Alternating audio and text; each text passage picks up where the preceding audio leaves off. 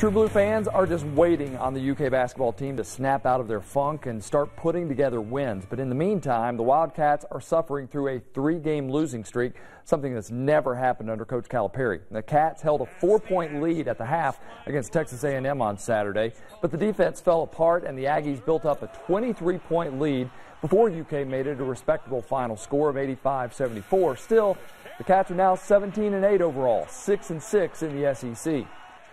They're more concerned about how they're playing, and then when they're concerned, they look really bad individually. Look like you can't play basketball. You're not very good. And when you're in that fighting mode, and all of a sudden, all the good stuff that you have in your body comes out, you really look like a good player, and you're playing for us instead of yourself. There's not enough trust there yet. Former UK basketball player Terry Mobley has passed away at the age of 74. He helped, uh, or rather played, for Adolph Rupp from 1962 to 65, where he made a memorable shot against Duke for a win in the Sugar Bowl Classic. He later helped UK with a capital fundraising effort and played several roles at the university before he became a member of the Board of Trustees. Milward on Broadway is handling the arrangements. Ole Miss basketball coach Andy Kennedy is resigning at the end of the season.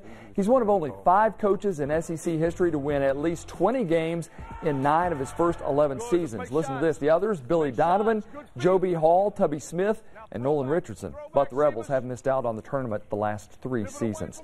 Last week, the Kentucky football team added two new coaches for the upcoming season. Today, we had the chance to talk with Michael Smith, who comes to Kentucky after coaching at Arkansas the last three seasons. He was a big-time player at Kansas State, and also Brad White will coach the outside linebackers. He was with the Indianapolis Colts the last two years.